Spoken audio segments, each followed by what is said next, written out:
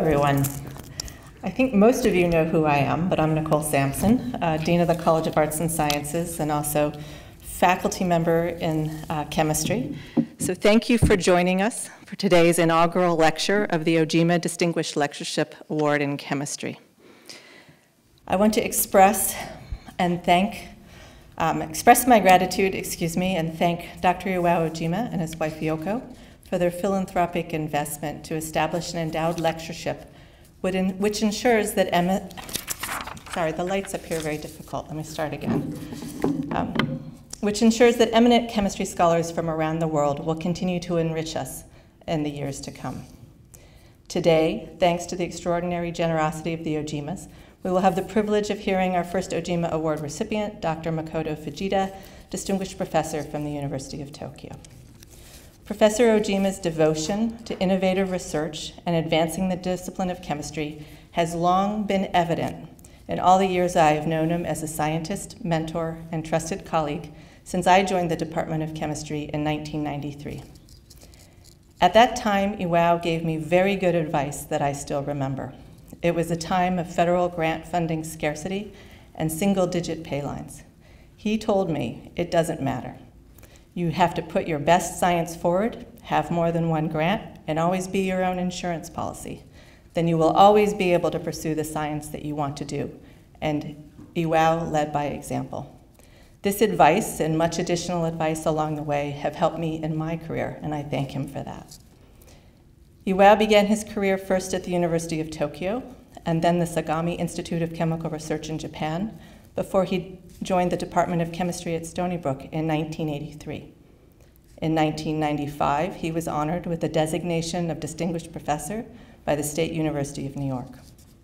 At Stony Brook, Professor Ojima has served as department chair, the founding director for the Institute of Chemical Biology and Drug Discovery since 2003, and as president of the Stony Brook chapter of the National Academy of Inventors since 2016.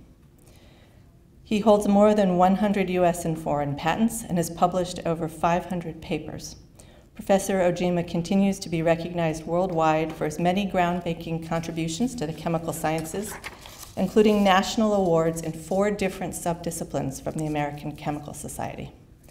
I should note that 17% of the patents at Stony Brook are held by chemistry uh, department faculty members, and Iwao is one of the main innovators of this faculty. Two of his current NIH grants are in collaboration with faculty in biochemistry, microbiology, anesthesiology, the Cancer Center, as well as at Cold Spring Harbor Laboratory. Through his leadership of the Institute of Chemical Biology and Drug Discovery, the Institute has built significant bridges between East and West Campus, the medicine side and the non medicine side, bridges that anticipated President McInnis's vision for one university. So let me share with you a few highlights of Iwao's work and their impacts. Iwao started his career working in organometallic chemistry, specifically with phosphine rhodium complexes, that allowed the development of new synthetic processes and had applications in asymmetric catalysis. In 1993, he, headed, he edited Catalytic Asymmetric Synthesis, which is now in its third edition. At the same time, he developed methods to specifically introduce fluorine into a variety of molecules with a large focus on amino acids and nucleotides. Fluorinated compounds are particularly useful in synthesizing medically useful compounds, which resulted in Iwao editing the book Fluorine in Medicinal Chemistry and Chemical Biology. His processes were used in commercial synthesis of an antiviral drug. In addition, he developed the beta-lactam synthon method, which is used in amino acid, peptide, and taxane taxol synthesis. The method is used commercially for the introduction of the side chain on paclitaxel, brand name Taxol, and his current work is focused on tumor targeted drug delivery, antibacterial agents, antifungal agents, and anti nociceptive pain agents. His taxoid work has led to an anti cancer compound that is in late phase clinical trials and which is effective against multi drug resistant cancer cells as well as cancer stem cells. It's being developed by Targagenix, and this drug is anticipated to be in clinical use later this year or early next year. So congratulations, Iwao, on seeing nearly 40 years of work reach this impactful and practical use. So once again, I thank you, Iwao and Yoko, for your kindness and for your vision in making today's lectureship possible, and for bringing us all together today. This Golden Egg in particular is so thankful for all your support and contributions in so many ways over the last 30 years. I look forward to working with you for the next 30. Now I'd like to introduce Professor Peter Tonge, Distinguished Professor of Chemistry and Department Chair, who will introduce today's inaugural Ojima Distinguished Lecturer. Thank you. Um, thank you very much, Nicole. So I'm absolutely delighted to introduce today's speaker, Dr. Makoto Fujita, who is the inaugural recipient of the Ojima Distinguished Lectureship Award in Chemistry. Um, as Nicole said, Dr. Fujita is a University Distinguished Professor in the Department of Applied Chemistry at the University of Tokyo and also holds a Distinguished Professorship in the Institute of Molecular Science. Dr. Fujita received his PhD in engineering from the Tokyo Institute of Technology and then joined Chiba University as an assistant professor. He was promoted to associate professor and joined the Institute of Molecular Science before being appointed as a professor at the Graduate School of Engineering at Nagoya University.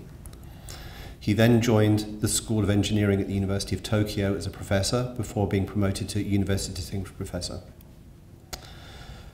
Dr. Fujita has made pioneering contributions to the development of self-assembling molecular systems based on coordination chemistry. He introduced the concept of metal-directed self-assembly to supramolecular um, chemistry, creating building blocks from transition metal groups and organic molecules that self assemble into large, stable, cyclic, and three dimensional structures. Applications of his work include the encapsulation of proteins in self assembled coordination cages, for example, to control protein stability or modulate enzyme activity, and the development of porous crystalline sponges that bind and align small, molecule, small molecules, facilitating, for example, the determination of their structures. This is um, an incredibly hot area of research, and unsurprisingly, Dr. Fujita's seminal contributions have been recognized by numerous awards. For example, he received the Arthur C. Cope Scholar Award from the American Chemical Society, and more recently was named a, a Clarivate Citation Laureate based on the very high citation rate of his published work. He is also a recipient of the Wolf Prize in Chemistry um, which was for conceiving metal directed assembly principles leading to large, highly porous complexes. He shared the Wolf Prize with Professor Omar Yaghi, who is a previous distinguished lecturer at Stony Brook. Um, please join me in welcoming Professor Fujita for his lecture, Coordination Self-Assembly from Origins to the Latest Advances.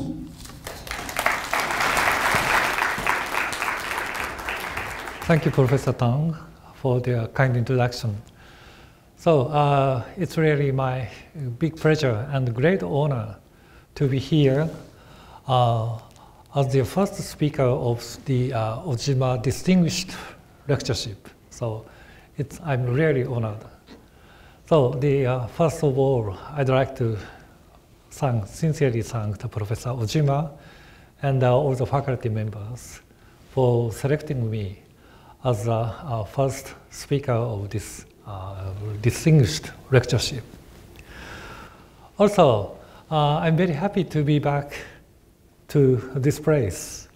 Okay, so I'm a frequent visitor to Stony Brook, and my last visit was the uh, 2015 on the occasion of the symposium celebrating Professor Ojima's 70th birthday. So uh, we have a strong relationship uh, because of not simply due to we are both Japanese, but so we, we have a special connection, strong connection. So uh, 40 years ago, uh, I was one of the group members in Professor Ojima's group at the Sagami Research Institute. It's a private research institute. But uh, I spent only one year in his group. And the next year, 1983, he moved to Stony Brook. But uh, uh, the one year uh, I spent with Professor Ojima was really, really impressive to me. And uh, actually, so this publication is my first, first authored papers.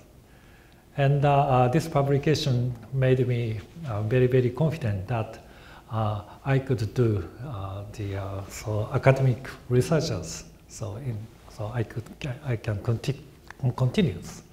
So, and he made me very, very aggressive because all the members, so it's not a big group, but all the members are very characteristic. Yes, very aggressive. Okay, so I was also influenced, and uh, actually, so one old picture tells you that we are discussing something, but uh, discussing about chemistry, even at the bar. Okay, and uh, we are very serious. Okay, the Professor Ojima is uh, a very good supervisor, and uh, for many many years he is a very good forever mentor. And uh, we are a little bit serious, but uh, 40 years later, uh, we are now very good friends. Okay? because uh, he's 70s, I'm 60s, all, almost the same. So through the many, many interactions, then uh, somewhat uh, serious situations becomes milder and milder, spontaneously getting so more stable. Okay, so this is the principle of self-organization. so, which is the topic of my lecture. Okay, so spontaneous organization is called self-organization. So let me uh, introduce the two important terms. So self-assembly and self-organization. Uh, physical people would like to strictly distinguish these two terms. Actually, uh, yes, so strictly speaking, the two words have different meaning, but roughly the same. And the chemists would like to use the self-assembly. So uh, in my lecture, I would like to use the self-assembly. So uh, these terms broadly refer to the phenomenon of spontaneous order generation in all fields such as space, economy, such, uh, sociology, and even the business. Okay? So everywhere, everywhere, so you have experienced self-assembly and self-organization. So we are doing the self-assembly in, at, at molecular level. And uh, in our self-assembly uh, studies, we are using transition metal. By adding the metal to the solution of a very simple bridging organic components, then the, all the species try to find and spontaneously find their right pathway leading to the most stable structure. So in this case, this spherical framework is formed spontaneously and in a quantitative yield. So from this animation, you can understand the principle and the power of self-assembly. We have been active in this field since 1990. So uh, we reported the self-assembly of a palladium cornered square complex by combining the 90 degree coordination block and the 449 by pyrazine. So in this work, uh, we experienced the self-assembly. We learned the self-assembly not from the literature, but through this experiment. Of course, even back to 80s, we can find some uh, historical milestone works for coordination self-assembly, but uh, these earlier works just expressed only the frameworks, only the structure. In our self-assembly, we created not the framework, but also the cavity, which is an excellent platform for creating many, many new functions. So then uh, starting from a square, uh, we have synthesized many two-dimensional and three-dimensional discrete frameworks with large cavities. And depending on the size and shape of the cavities, then we could uh, design and create new properties by accommodating small molecule in the cavities.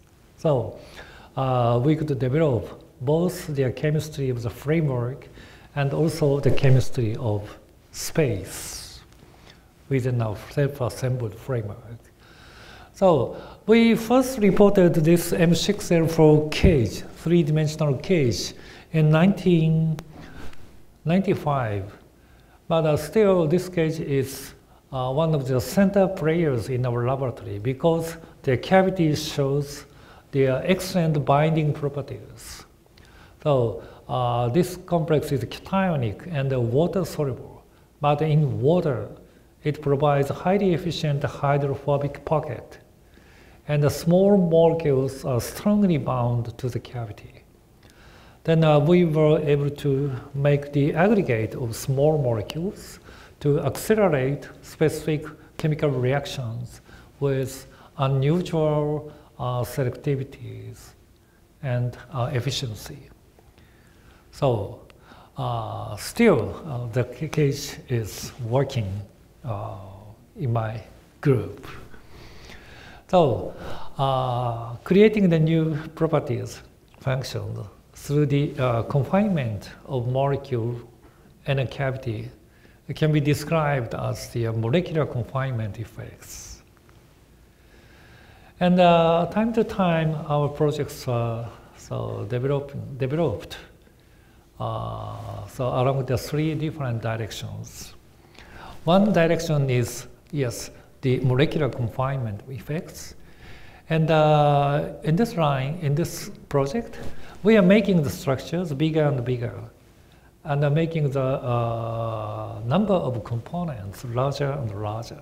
So I will show you the, our champion structure in this lecture.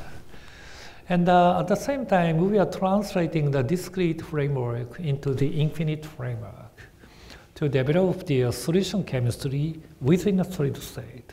So I will discuss uh, all these. So, so let me first discuss about the solution chemistry in the solid state.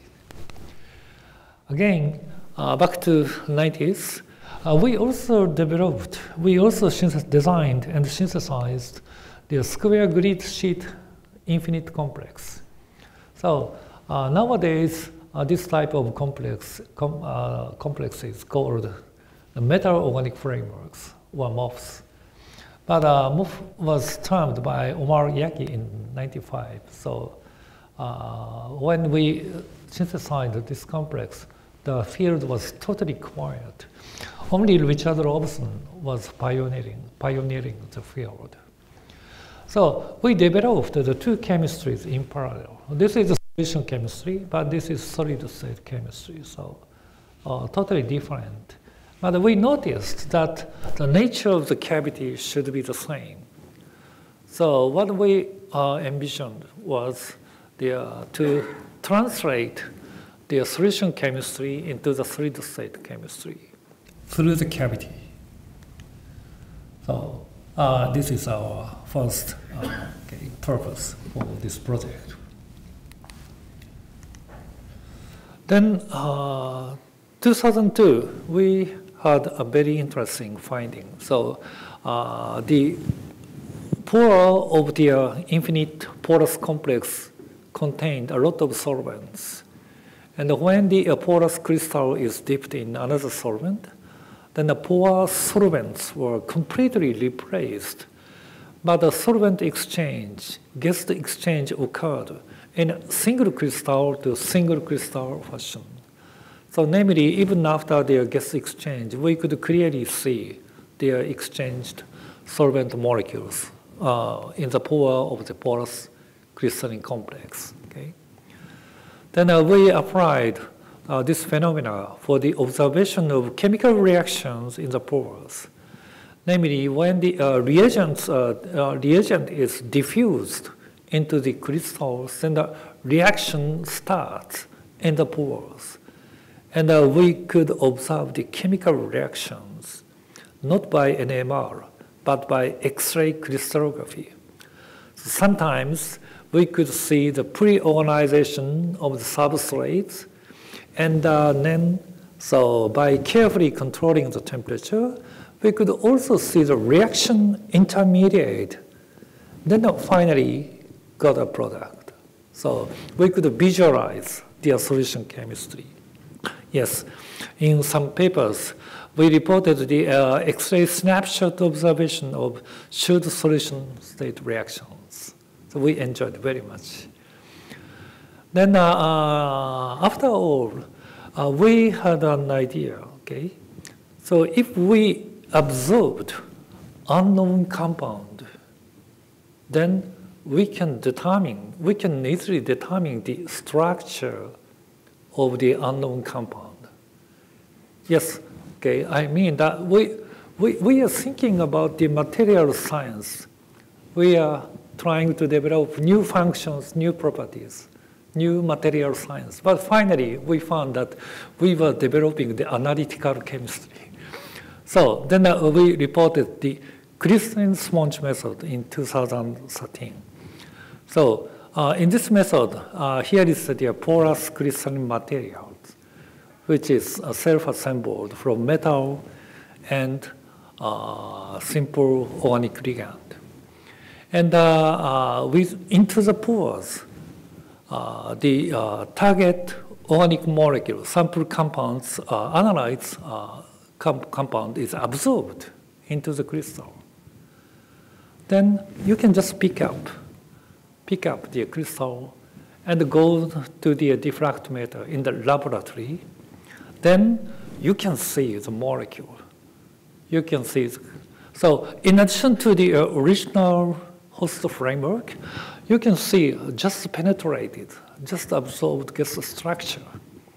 So, and uh, this is a crystalline sponge method, which makes possible to observe the X-ray structure of target compound without crystallization.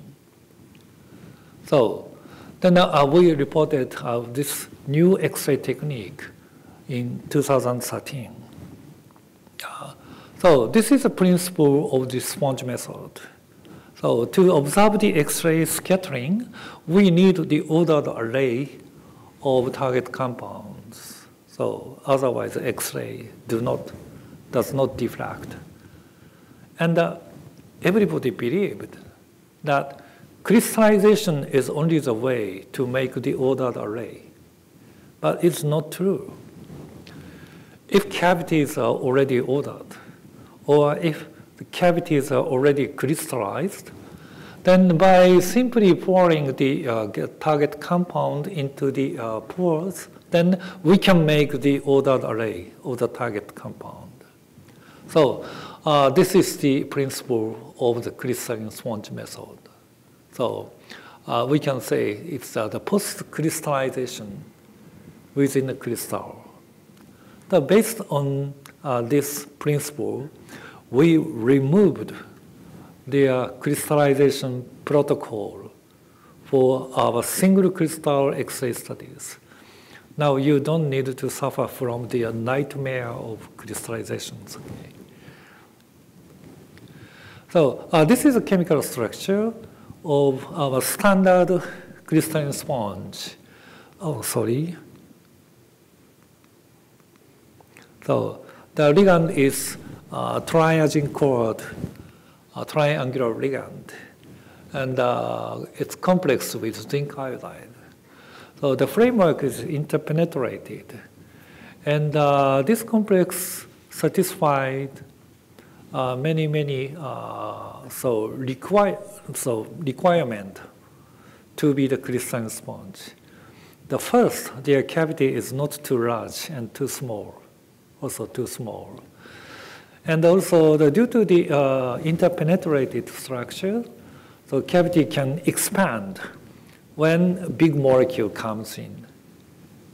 And if the gas molecule is small, then the cavity will shrink, shrink. So induced fit molecular recognition works. Uh, actually, so gas molecules swim into the pores and the gas molecule try to find the most comfortable place.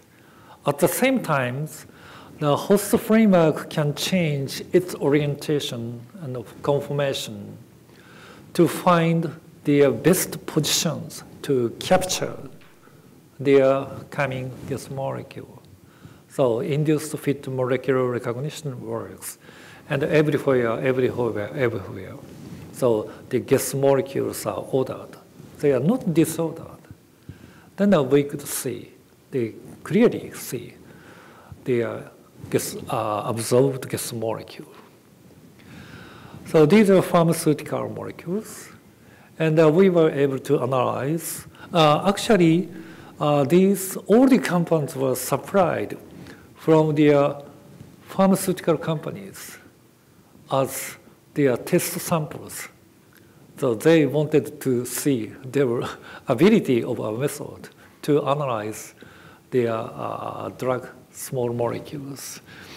And uh, we analyzed so all the compounds.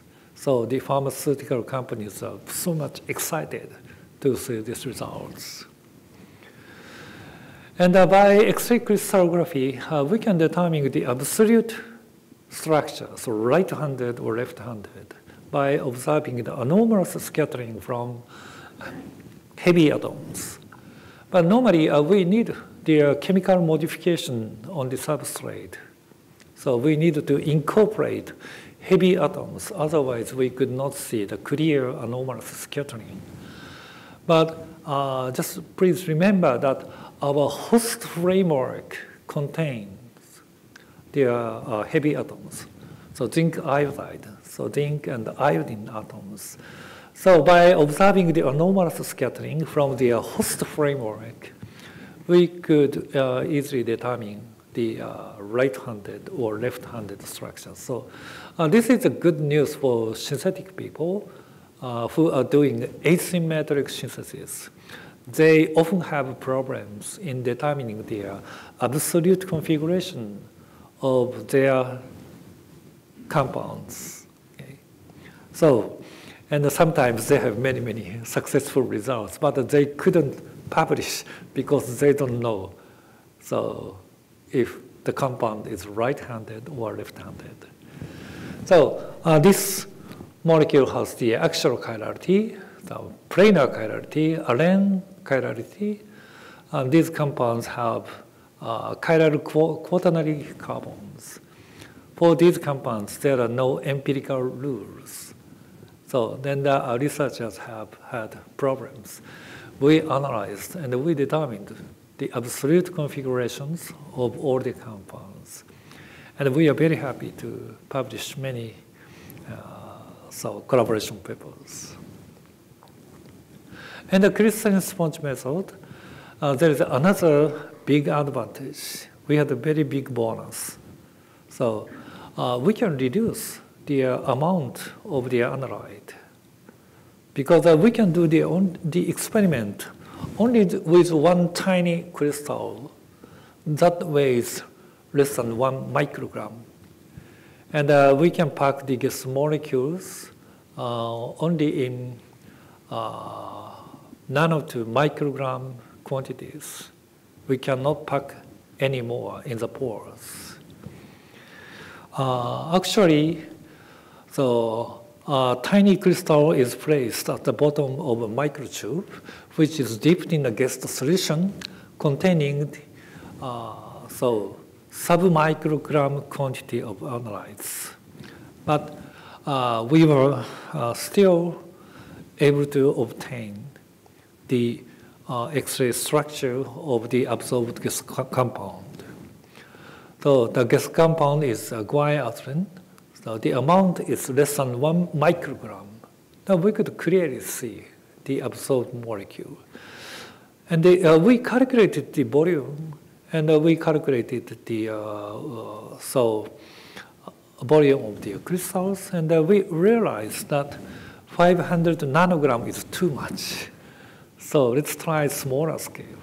Try smaller scale. I asked my students several times and finally uh, even with 50 nanogram, So we could still clearly see. At the moment, our champion record is only five, five nanogram, but still, still we can see the X-ray structure. So, uh, yeah. So only nanogram, yes. Yeah, we can reduce further, furthermore. If you have many very critical samples, then if we go to the synchrotron facility, maybe a picogram scale or X-ray crystallography is possible. So uh, nobody, probably nobody, or almost nobody had thought about the uh, X-ray crystallography uh, has the, such a high sensitivity, or we can analyze the X-ray structure on a nanogram scale. Why? Because we need more samples to make single crystals. So with only nanogram quantity of samples, we cannot make uh, single crystals. But by removing the crystallization protocol, then X-ray crystallography turned into almost a new analysis method that can analyze the structure of target compound on a nano to microgram scale without crystallization. So then uh, we had an idea to combine the X-ray crystallography by gas chromatography purification and also HPLC purification. So by the uh, preparative, by combining with a preparative gas chromatography, then uh, all the flavor components involved in the peppermint oil were determined. So the, in all, uh, each peaks were isolated in microgram quantities by the uh, preparative GC separation. And here, a beer company, so Japanese beer company, uh, analyzed the old bitter taste components involved in the hop, beer hop. So, and analyzed the most of the major uh, peaks, the structures of the major peaks.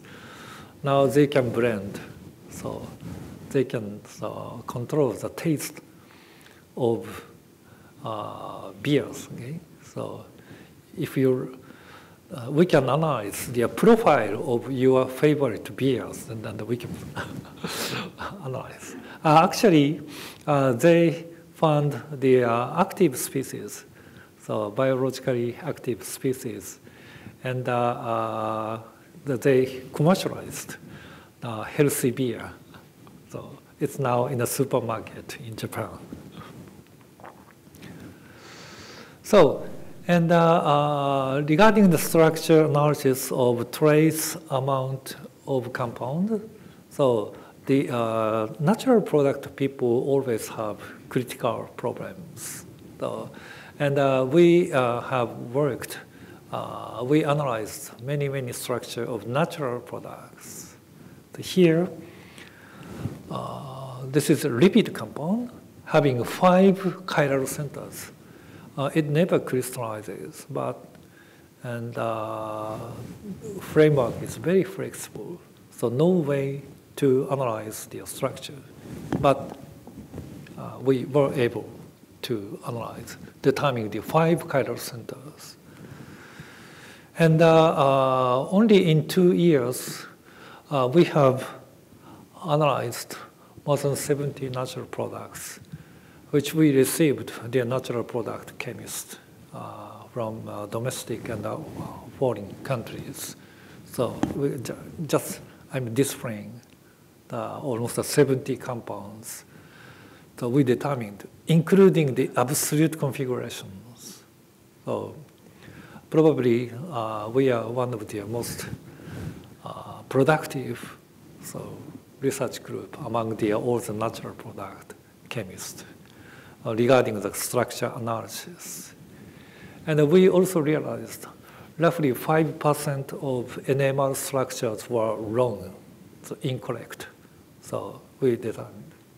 It doesn't mean that uh, 5% of natural product chemists are, chemists are very, very poor. It doesn't mean. So uh, this is the limitation of the spectroscopic analysis of natural products. So in the future, uh, we hope that the sponge method is uh, recognized as a standard method to determine the structure of natural products. Of course, X-ray is not always perfect, so we should so study both. So most reliable NMR structure plus most reliable X-ray structure will give you the most convincing analysis method for very, very complex natural product structures. So, and uh, uh, X-ray, uh, this is the uh, so workflow, typical workflow in natural product studies. Uh, actually, starting from the collection of bulk materials, it takes a long way. So we can help uh, only at the so latest step. Okay, then uh, we applied the method at the very early stage. So we wanted to go to the uh, ocean, but uh, they say it's too dangerous. So then, uh, anyway, so we uh, th this is a bulk the crude extract okay, obtained from the uh, Laurencia pacifica. Okay? And this is a collaboration with Professor Jing-Ke Weng at MIT. So that we received only 10 milligram because this is enough. So for analyzing everything, so we need only, we can do, we can analyze only in the microgram quantities. Normally you have to collect kilogram scale bulk materials to get the one gram quantity of uh, crude extract. Otherwise, during the separation and purification, you will lose everything. So you cannot reach to the structure. But 10 milligram is enough. That means we can reduce at least the two orders of magnitude. So all the experimental protocols. So you're getting the roughly 10 gram of bulk material is enough to start the natural product studies. And uh, uh, in this experiment, the crude mixture crude mixture was absorbed into the crystalline sponge. So uh, in the crystal, mixture is absorbed, and we re-extracted the absorbed species from the crystal. So namely that we got the two HPLC profiles before and after the gas absorption. So uh, let's compare the two profiles. So the, uh, this so spectrum clearly shows that uh, these peaks are good affinities to the cavities. Regarding the uh, DFH, so it shows no affinity to the cavities. Let's forget about these species. But uh, the other uh, components should have strong affinities. Then uh, we uh, isolated these peaks by HPLC, one by one. And so uh, we analyzed all the compounds only in a few months. Normally it takes a few years. Okay? You can get one PhD. But we did uh, only in a few months. I said to my students, so you, it doesn't mean so you can get PhD in few months. Okay? so, and uh, this is a very modern uh, technique in uh, biology field. Now they can get a new natural product, not from the ocean, not from the forest, but from uh, so DNA information, so from gene genetic, so genome information. Okay? So from the data bank, now you can easily analyze. So you can do the data mining. And uh, based on the similarity of the sequence, then uh, you can easily specify so the enzymes are here and here and here. So if you want to find the new uh, terpene cyclase, cyclase then uh, you can easily find such uh, so sequences.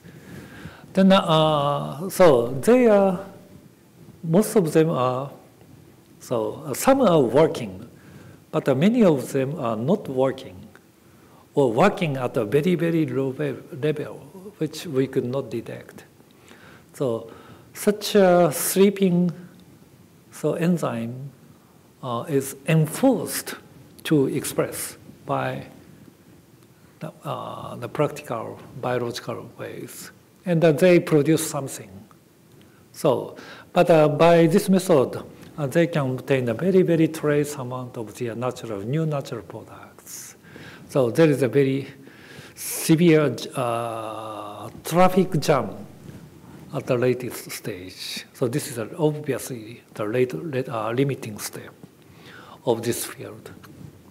We have the super uh, motorway, highway, so then uh, we can rapidly go through the, uh, all the protocols.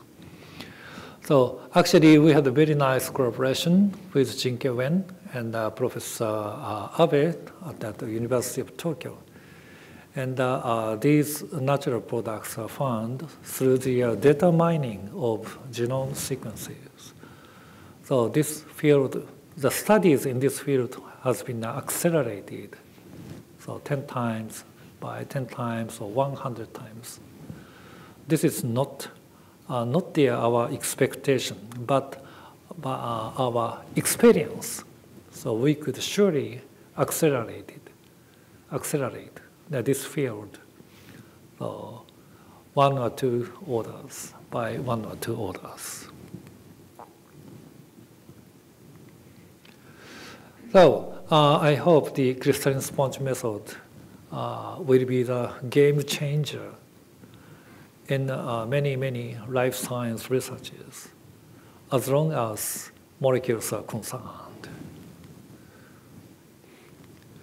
Let me also discuss the uh, center project, centered project. It, uh, uh, this project is quite simple. We are just simply making the structures bigger and bigger and bigger. So in 2004, uh, we synthesized we synthesized the M12 L24 molecular sphere, so which I displayed by animation at the beginning of my talk. So it assembles from uh, 12 metals and 24 bridging ligand. Its shape is roughly spherical, roughly spherical, uh, but uh, actually it has the symmetry of cuboctahedron with 12 vertices and 24 sides. So cuboctahedron is one of the uh, 13 Archimedean solids so the platonic solids are the regular polygons. So tetrahedron, the cubic and octahedron. And uh, the uh, Archimedean solid is a highly symmetric semi-regular convex polyhedron composed of two or more types of regular polygons, namely uh, from triangle and square or triangle and pentagon, like this way. And uh, so four of them are tetravalent. So tetravalent means four edges meet at every vortex. So we are using the square planar transition metals. So the, in principle, uh, we can induce the self-assembly of four Archimedean solids. So we targeted the five structures, including the uh, tetravalent platonic solid or octahedron. So, and uh, uh, we realized that uh, we can figure out only five structures, only five possibilities. We thought matter, so possibilities should be much, much larger. But only five. So namely, so in this self-assembly, there are magic numbers. And uh, due to the restriction of the space, three-dimensional space, uh, only five structures are allowed. So there is a mathematical constraint in this self-assembly. So we envisioned synthesizing everything. Actually, so 2010, we got Rhombicuboctahedron. And 2016, we got M30 L60 icosidodecahedron. So uh, every six years, we could step up. So this year, so we have to synthesize the last count. Okay, so uh, before going to the further discussion, so I should convince you the, the, all the structures by showing the X-ray molecular structures. This is the crystal structure of the M2448 sphere. So this thiophene quad ligand, bridging ligand worked quite well. You can see, you can count 24 metal centers and 48 bridging ligands. Honestly, I have never counted. Okay. You can see the so this square window is and this square window is not not not equivalent. And uh, there are two uh, circumstances. And uh, by NMR, we could see two sets of ligands by NMR in solution. That means the framework is also very stable even in solution. This is the crystal structure of the uh, M30L60 icosidodecahedron. You can recognize triangle and the pentagon, and triangle and the pentagon. So the molecular weight is over 37,000. This is chemical formula. But uh, still there is no errors in the size, shape, and molecular weight and chemical formula. So this is a molecule, not a polymer. So without no distribution. So dispersion of structure means dispersion of properties. So we are aiming at the non-dispersed properties from their well-defined discrete structure. The size is close to the 10 nanometer, almost comparable to the protein, protein size. Later, I will discuss the protein encapsulation in the case. So this slide shows you how we expanded the cavity and the number of components. So from the furan quadrant, we got uh, so M12 L24. But from the quad ligand, we got the 24. So the difference is the bond length. And the CS bond is slightly larger, making the, uh, this bend angle a bit larger. So now we are, you can understand that smaller angle prefers smaller framework, and the larger bend angle prefers larger structures. So you can understand why this structure switched uh, between uh, these two realms. So having these two structures, we wondered what happens in between.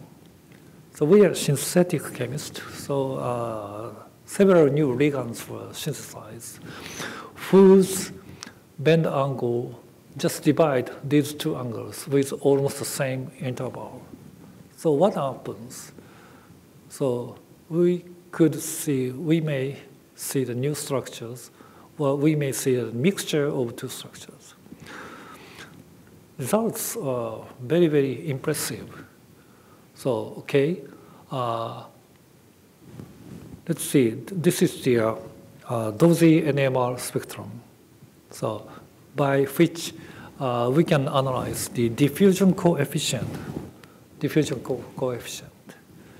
And the smaller structure diffuse rapidly, larger structure component diffuse slowly. And uh, from the difference of the uh, diffusion coefficient, we can roughly estimate the size of the molecule. So we have many, many good uh, standard references. So uh, from these ligands, we observed their formation of one, only one species, which can be uh, assigned to be the M24L48 uh, rhombicuboctahedron. No smaller components. And in all cases, you can see two sets of ligands. This is also consistent with the icosahedron. Ah, no, no, no, no, no, rhombicuboctahedron framework. But when uh, the angle becomes uh, 131, then the structure suddenly switched from 24 to 12. And we could see only one set of ligand. Uh, this is consistent with the symmetry of cuboctahedron. The structure suddenly switch, namely, uh, we could see the threshold. So, uh, so the a sharp threshold exists at around 131 and 34. So it's a kind of phase transition. We are very surprised to this result. Then we realized that even if the uh, initial difference is very, very small, such a small difference will be amplified uh, during the uh, self-assembly from a large number of components. And uh, if the given conditions or uh, given system slightly prefers the smaller structures, then everybody come to the smaller structure. And if the system slightly prefers bigger structures, then everybody come here always small or large because of the amplification effect. In other words, we were unable to make a mixture. So, back to this graph. Uh, this axis means the self-assembly uh, parameters, parameters, mainly the uh, bend angle of the ligand. We can make the analog change analog change in, in the self-assembly parameters. But the output is digital. Only five structures are allowed. So, and this analog digital relationship is very important.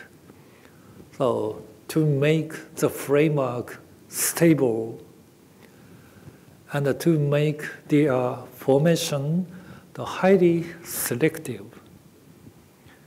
I mean, I mean that uh, at a certain range of self-assembly parameters, we can always reach only one particular structure. And uh, once the framework is formed, uh, this framework is very stable at a certain range of external stimuli. So selectivity is the most important issue in chemistry. Normally, we control their selectivity by uh, steric effects or electronic effects. But the selective formation of this framework is not controlled by the steric nor electronic effect, but controlled by the mathematical restriction. We can say that this is the uh, mathematical control of the structure of matter on the nanoscale. We expanded the ca cavity, uh, angle, okay, further. Then uh, again, the difference is very small, but uh, it, this difference will be amplified. And in fact, uh, my colleague got something big. okay. but, but unfortunately, NMR signals are so broad, and uh, mass spectrometry couldn't show the molecular weight. So we had to get the single crystals. And we tried, tried, tried. And uh, finally, we got single crystal, and we did the X-ray analysis. Then uh, after obtaining the crude X-ray structure, we had a totally unexpected situation. So what we obtained was the unexpected M30L60. Uh, six polyhedron appeared on the stage. Let's see the uh, crude X-ray structure. Just the electron density is displayed. So uh, you can see the triangle and the square, triangle and square windows. It's highly symmetric, and the shape is almost roughly a sphere. But it doesn't uh, belong to the Archimedean solids. Even more, we could not find this network topology in any textbooks of geometry. Nobody had discussed this framework. What, what, what is this guy? We're really frustrated. So uh, actually, uh, for a couple of months, uh, we were unable to publish this work. We have the materials, we have the X-ray structure, but uh, we couldn't publish because uh, we cannot explain what is this guy. So uh, I have the talented young colleague, so another Fujita in my group. So, but he's uh, used to be a uh, assistant professor in my group, and uh, finally, he succeeded in making a new mathematical discussion that clearly explained the formation of the unexpected M30L60. So we were inspired by the Goldberg polyhedra. Goldberg polyhedra uh, uh, the convex polyhedra made from only hexagons and pentagons, like this way. And uh, uh, we can consider many. And uh, uh, so every Goldberg can be defined by the relative positions of adjacent pentagons with two indexes, h and k. So from here, you can cross the borders, the three steps and two steps in direction in these directions. So this is Goldberg 3, 2 polyhedron. So like this way, you can define many different Goldberg polyhedra. The Fullerene is one of the Goldberg. So from pentagon to pentagon, uh, you can work one step and one step. So this is Goldberg, one, one polyhedron. This virus capsid has the Goldberg 1 2 uh, symmetry. So it, this is a Goldberg 1 2 structure. So, and uh, this is our own mathematical discussion. So this is our mathematical discussion. The uh, Goldberg polyhedra has have trivalent structures in which three edges meet at every vertex. We simply extend the Goldberg uh, from the trivalent to the tetravalent structure in which four edges meet at every vertex. And we termed the extended Goldberg polyhedron. So uh, in the Goldberg trivalent structure, the basic network is just a honeycomb structure. But only from hexagon, hexagon, hexagon, you get the infinite sheet structure. You can never cross. But by incorporating the pentagons, you can make the convex surface. And as mentioned, uh, each can be defined by two indexes. And uh, Goldberg defined uh, the conventional T numbers by making the square of the summation of the two vectors. It can be, uh, which can be described as such. Uh, this is uh, high school student mathematics. You should remember, okay? okay, you should have learned. Okay. So, and uh, H and K are digit numbers. So if you have a T number, then you can easily calculate, recalculate H and K. Namely, T number is a very convenient one letter description of the two indexes. Okay, uh, in our uh, extended Goldberg polyhedra, the basic network is a grid sheet made of only square, square, square. Again, it's an infinite sheet.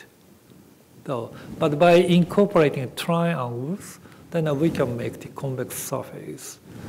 So uh, every extended Goldberg polyhedra can be, again, defined by two indexes, h and k. So by analogy, we define the q number by making the square of the summation of these two vectors. In this case, uh, we can adopt the Pythagoras equation. And uh, uh, based on the uh, Pythagoras equation, we could generate a series of magic numbers or Q numbers. Okay? So what, what are these Q numbers represent? So every Q number represents one specific relationship of the two adjacent triangle. For example, Q number of 2 means H and K should be 1 and 1. So the relative position should be uh, one step described as the uh, one step and one step, or one step and one step. So it represents cuboctahedron. The next possible Q number is 4.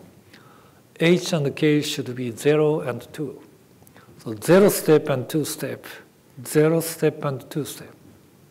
It repre represents rhombicuboctahedron. And then the next possible Q number is 5. H and K should be 1 and 2. The 1 step and 2 step. So 1 step and 2 step. And uh, this is a framework which we encountered by chance. Now everything is clear, everything is clear. So uh, what we have synthesized was the uh, uh, extended Goldberg polyhedra, which we defined with a Q number of five. We are very surprised. We believed that we are synthesizing a series of Archimedean solids, but it was not true. What we have synthesized was a series of extended Goldberg polyhedra with a Q number of uh, 1 to 5 without missing any Q value. So then everything is clear. Everything is clear. So, but uh, understanding the structure is not the final goal of chemistry. So we want to create new structures. And uh, the most important feature in this mathematical discussion is that this table clearly predicts they are our next structures. So next to 30 is, should be 48 and the 54 and 60. These future structures were theoretically predicted by our mathematical discussion. So we became very serious. We tried many, many different conditions and new ligands. Then finally, we got this predicted structure. Again, uh, this is a very crude uh, electron density uh, uh in the uh, X-ray analysis. But you can see triangle, the square, square, and triangle. So two-step and two-step the positions of the metal centers were refined, and we confirmed that uh, it has the topology of M48L96. So this is the tetravalent uh, extended Goldberg polyhedron, uh, 2-2 polyhedron with a Q number of 8. Through the collaboration with protein crystallographer, we finally defined all these structures. So the molecular weight is over 47,000. This is again very huge, but uh, uniformed. so molecular formula. So this is a Guinness Book structure. So in our here is our new roadmap. So uh, actually, icosahexahydrin uh, uh, lies on a different series, different line. And uh, uh, this is a new uh, family of extended Goldberg polyhedra we defined. Currently, we have the structure from Q number of 1 to 8. So, in our new revised roadmap, we have infinite target structures. So the roadmap is infinite. So, so we are still challenging to synthesizing uh, Uh, these new structures.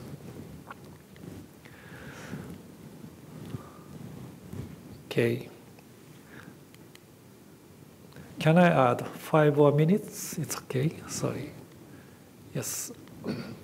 What game shall we play with such a huge structure? We are now trying encapsulating proteins. What can you expect? What can you expect? Actually, we did not have real so good ideas, but uh, we expected something should happen okay, by fully caging the proteins. And actually, uh, we observed uh, remar remarkable findings. We could say that uh, we could make non-degradable enzyme. So uh, protein is in a cage, and normally in organic solvents, it's unfolded. But in a cage, it doesn't denature. So folding structure is kept. It's remarkably stable.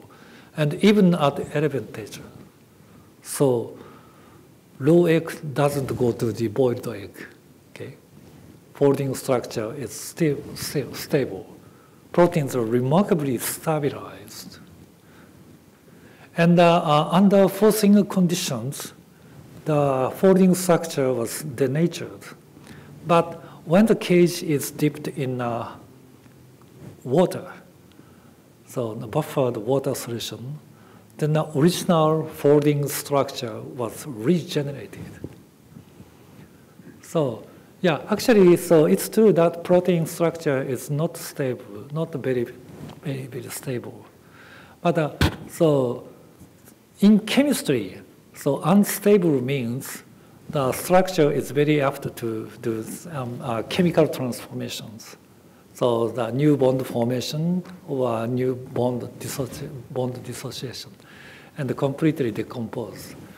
But uh, in case of proteins, when the pro, uh, there are no chemical change, but only the folding structure is uh, okay, so destroyed, so broken, and uh, uh, hydrophobic residues appears on the surface. Then uh, they immediately start to aggregate then, uh, so, so they, they are condensed, and finally they precipitate. It's totally irre irreversible way. That's the reason why proteins are so unstable. But initial aggregation is completely forbidden. It's completely inhibited by the cage. So even uh, it's partially unfolded, it can immediately go back to the folding structure. So that's the reason why the protein is become very, very stable in a cage. So uh, here's one uh, example. So we examined the uh, CLE that can uh, uh, hydrolyze the esters. Okay, uh, I'd like to show you the only the experimental results sorry.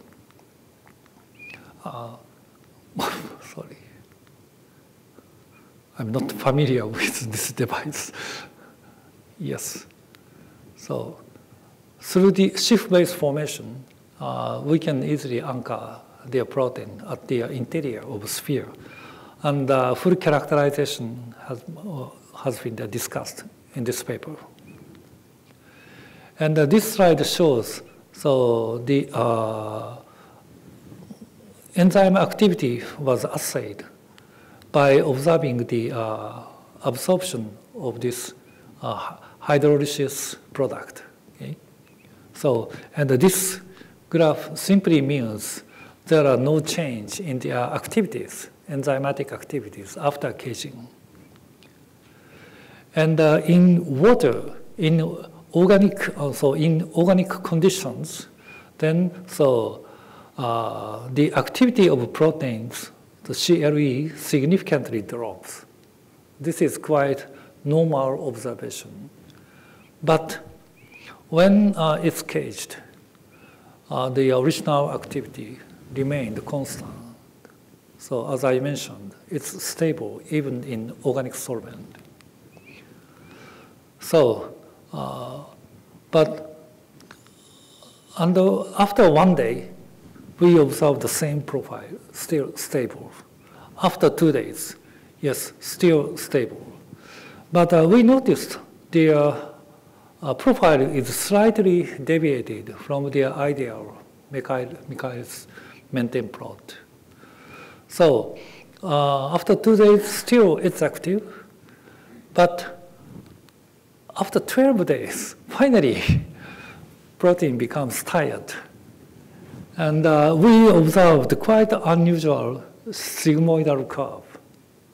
So sigmoidal curve. That means the activity is once lost. Okay? Activity is once lost, degraded. But very surprisingly, the activity was regenerated during the assay experiment because the assay conditions is aqueous. Let me Okay, let me make it clear. Okay, so first the active protein, native form. So after caging, it's still active. So after treating in organic solvents, so the uncaged protein becomes degraded, but still it's active in the cage. However, under forcing conditions, finally the protein is tired. It's degraded. But it come, came back to the active form by retreating under aqueous buffered conditions. We thought the folding structure is once lost, it's unfolded, but it's refolded into the original protein structure. So we did the uh, HSQC to the NMR analysis. Uh, we can get many, many information. Actually, we uh, do the three-dimensional analysis, but the simplest information is just uh, these uh, spectra are just fingerprints of folding structures, fingerprints. So obviously, the native folding structure was broken. And uh, so biology people say that you are observing the molten globule state. So partially so, uh, unfolded structure. But uh, after treating under aqueous conditions, then the original profile, original fingerprint regenerated. So the shear protein folding structure was regenerated, refolding, refolded. So the uh, refolding of the protein by caging is the uh, function of chaperoning proteins. So by protecting, so by their physical separation, by the physical uh, separation, so their aggregation is forbidden. Then the tired proteins can be active, activated after taking a rest. So this is a principle of chaperoning protein. So we just realized, materialized, uh, realized the chaperoning-like function with our self-assembled cage. Yes, as I mentioned, uh, we established the non-degradable enzyme with a chaperoning cage. So uh, this is the very exciting function of our large cage. Okay, let me summarize that slide. Yes, as I mentioned I, at the beginning, we are still developing the chemistry into these three directions. So what the most important uh, scientific significance in our, our, research, in our chemistry? Now, traditional, in traditional disciplines, the organic people would like to create new shapes because shape is the most important parameter to show the uh, biological activities. But inorganic people do not care the shapes. So they want to see the new states, so new spin state, new oxidation state, new excited state, like this. So they don't care the shape of chemical structures. So in our coordination self-assembly, uh, we uh, established a new interdiscipline in which inorganic chemistry creates new shapes. Okay, let me uh, close my talk by thanking to the, uh, all my former and current key co-workers. They are extremely talented, and thanks to their uh, achievements, so I, I could have such a good moment here. I really thank to the, older people uh, to my young coworkers. Most of them have already promoted uh, to a better position in other institute or universities. Quite recently, uh, we moved to a new building. So, and uh, just let me show. So we are very happy that we could enter this building with three major instrument companies Oh, okay. So this device rushed me. Okay. so, so, so the major companies uh, joined us in the same laboratory. So students are very happy in a new laboratory. So uh, currently, still my group is very active with the uh, young staff and students. So, okay, thank you for your kind attention.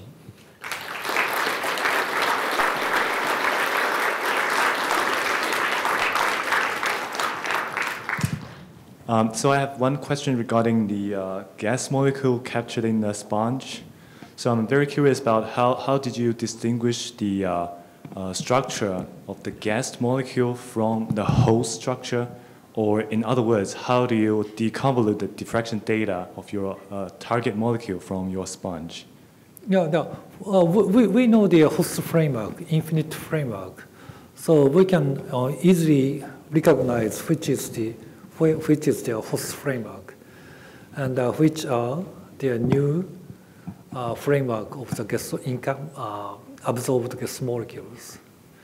And the second question was? Oh yeah, so it's just the, the data-wise. How so? So I think the experimental setup would be just like a traditional diffraction yeah, yeah, yes, yes, yes. Just an in-house X-ray diffractometer. We could get but uh, the cell constant is very large. And uh, we, uh, the crystallographic refinement is not routine, not routine. So you have to be trained. I see. Thank you. Thank you very much.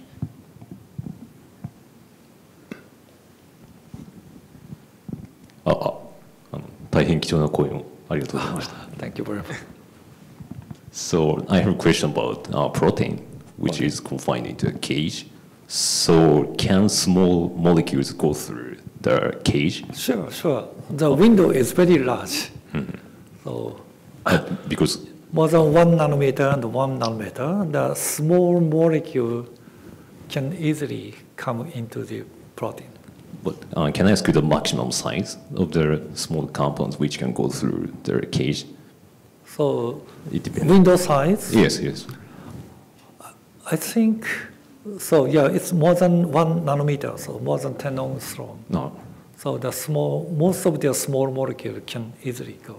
So we might be able to use our enzyme for very Yes, long yes, period. yes. Okay. It does not disturb. Yeah, actually, uh, there are similar experiments with polymer matrix. The protein is wrapped with the proteins, uh, wrapped with polymers, organic polymers. But in this case, uh, the small molecules cannot address, cannot access to the enzyme active centers. Then uh, uh, enzymes activity significantly drops. But uh, in so our case is just a framework. It doesn't disturb the access of small molecule.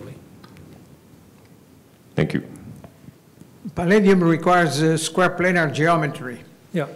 What happens if you use metal centers that require octahedral geometry? Ah, yes. Uh, actually, so uh, in principle, we can use many, many different metals with different coordination geometries. But uh, in self-assembly, uh, the coordination bond should be not too labile and not too inert. And uh, uh, we examined many, many combinations. And among the, all the combinations, the palladium pyridine combination is the best. So,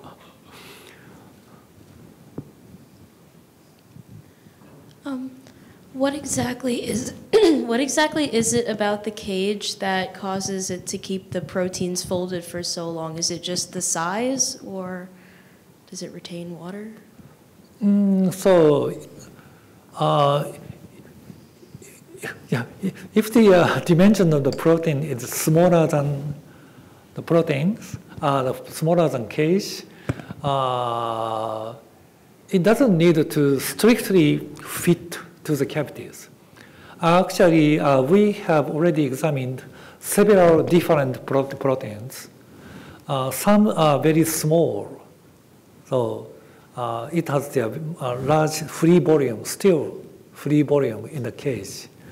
Uh, some are very tightly packed, but uh, in all cases, we observed their stabilization of proteins. Okay, I have a question. Uh, Thank you for the talk.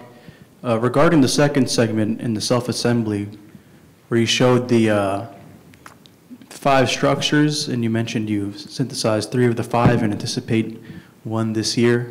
Uh, The three that you did already, was that a matter of ease or priority as far as relevance to housing certain target compounds? So yeah, we have yeah we synthesized three, and then so what? Please repeat. Uh, The question is, the three that you did, excluding the two that have not yet. Uh, was that a matter of ease or priority, since the, some of them were more relevant for certain uh, target compounds to host? So you mean the uh, last structure? So misunderstood. I think that, uh, you know, so, so, so he found that, uh, you know, the different series of, uh, you know, the combination is possible. So then kind of, kind of switched to Ah, yeah. to the Goldberg, you know, series, right? So uh, yeah, mathematically, so the uh, icosahedron lies on a different series. So we need a different mathematical scheme so to describe. Yeah, that's The- so he, you know, obtained something that he couldn't explain on the arithmetic line. And then try to, you know, to figure out mathematically how that was fixed. And then discover this new word for a You got the isolation of this uh, chemotherapy. These two structures, yes.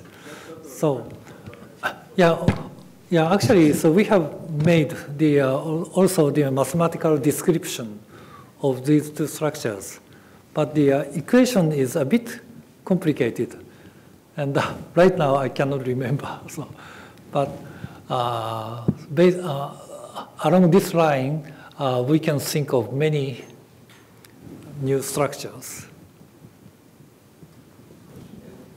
Uh, Dr. Fujita, um, for a crystallographer, uh, the membrane protein crystallization is challenging. Yeah, yeah.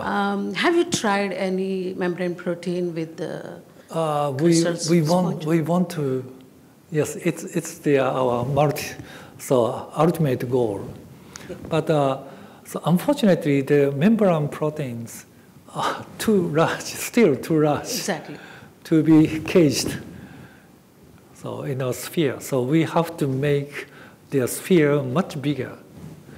But uh, yeah, hopefully we can modify, the chemically modify the interior of the sphere, uh, which is very similar to the uh, uh, so circumstances in the membrane.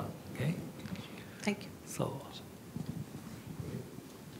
Hi. Thanks for the beautiful, uh, sharing the beautiful work.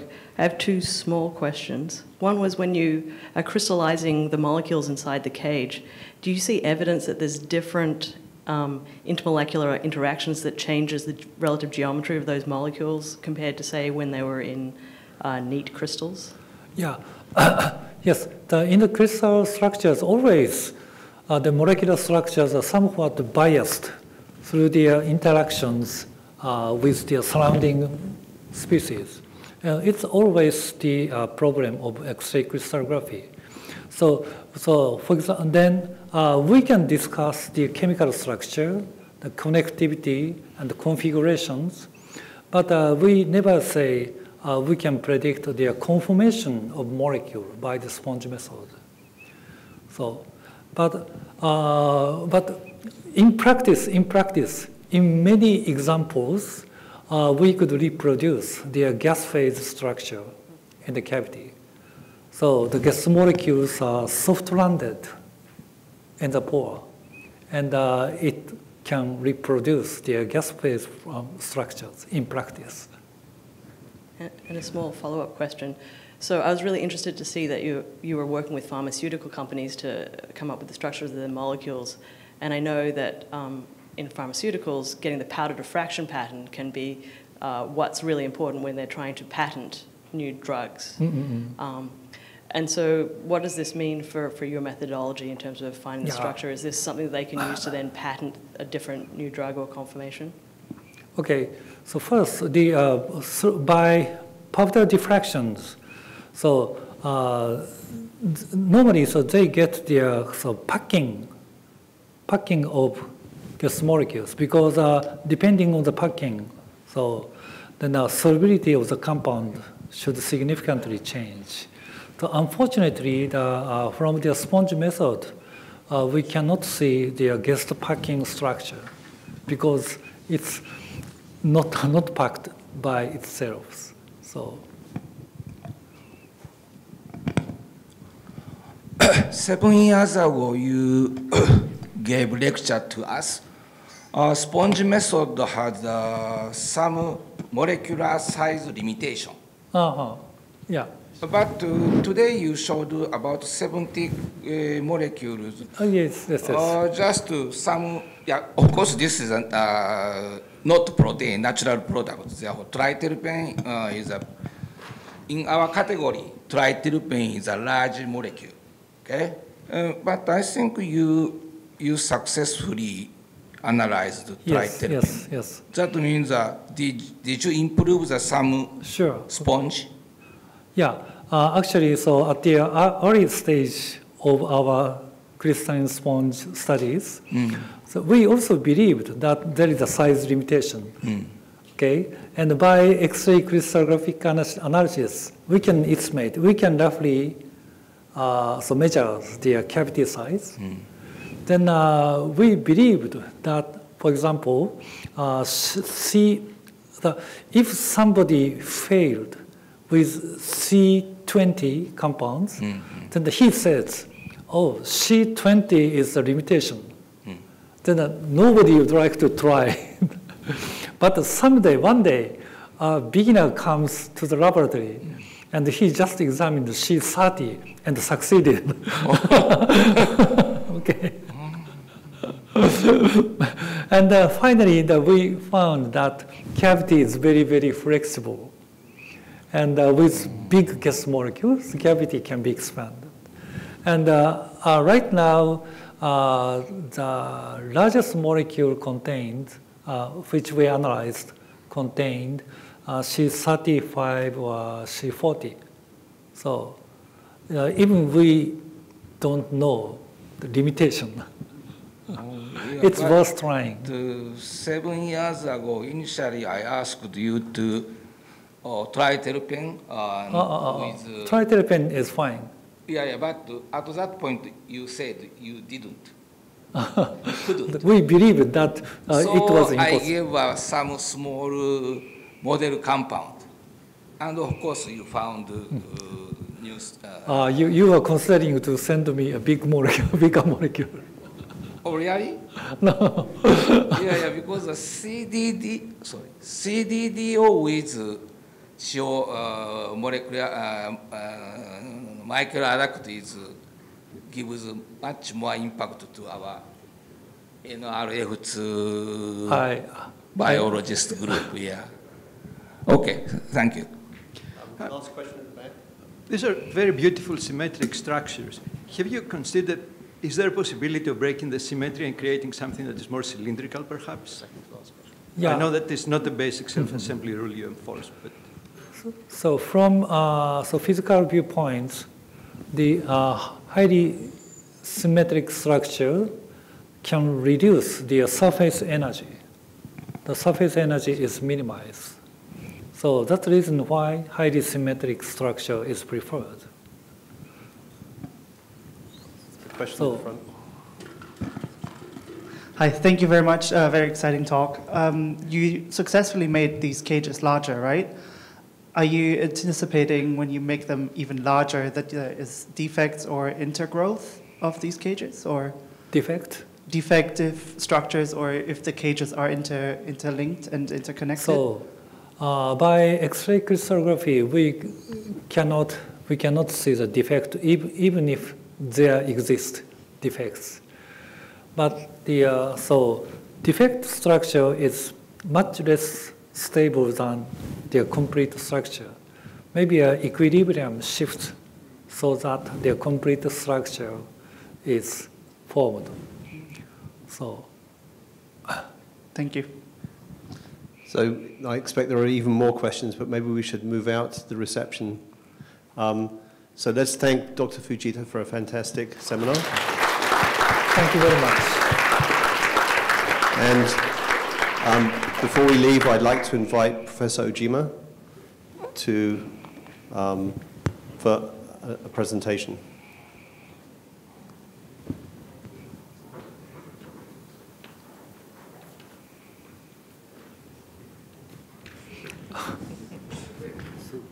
Ah, Congratulations, thank you very much. thank you very much. Picture. Okay, this is, uh, yeah, the inaugural uh, drug for this award. Okay. can Thank you very up? much. Oh, sure. Yeah, you go to, you go. No, no, no, no, you, you you hold it. Okay, so then you hold it, right, okay. Okay. So maybe, Nicole, huh, maybe you come this side? Yeah, oh, okay, good. job. Go forth Okay, and celebrate.